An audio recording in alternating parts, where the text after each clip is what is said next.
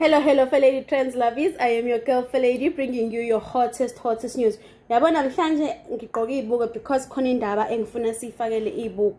Yesterday it was trending Black Motion, Murdah Bongz and DJ Zinhle. U DJ Zinhle guys, it seems as if she always get caught in the mix.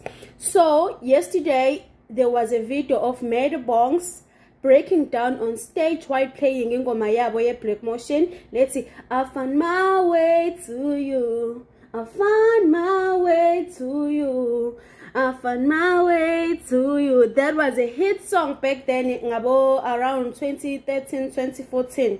So that song was done by Umurdah Bongz and Otib Otabo Smol. So we all know the song. If not, ke ya ingoma ye Black Motion eyayenziwe. So it, it happened ke ukuthi uMurdah Bongz on his set wayidlala le ngoma. So mayidlala le ngoma shuthi kwabuya ama-memories and then he started crying on stage on set. So most people bathini ke manje on twitter they saying um uMurdah Bongz uzoyibulala udj zinhle uyamfoselela ukuthi abe ne-relationship nabantu baka-AKA um there is a lot there is a lot of mean things people are saying what djs and guys online. They are saying she's the reason why you ilokho ze-black motion yahlukana eh umeda bongsi wachoose udj zinhle because udj zinhle is the man in the relationship. Kuningi guys kuningi. So now what i want us to, to talk about is ukuthi it's not fair for udj zinhle guys in okay like let's make an example. Nangu umuntu uyafika uyakushela.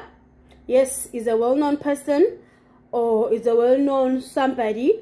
So uyakushela and lo muntu lo decide ukuthi you know what? Because this group engikuyona it's no longer working out so i'm gonna go solo. So ekugcineni sekuzoblenyana and anyways ulokhuzana uMurdah Bongz is doing very well without ilokhuzana i-black motion.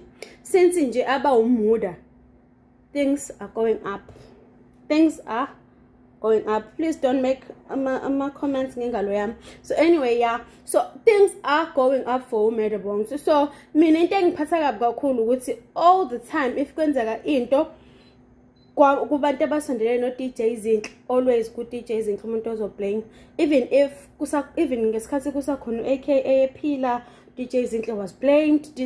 Hi guys just give that girl a break. Into engichaza ngayo-ke she just doesn't care. She just doesn't care. She's living her life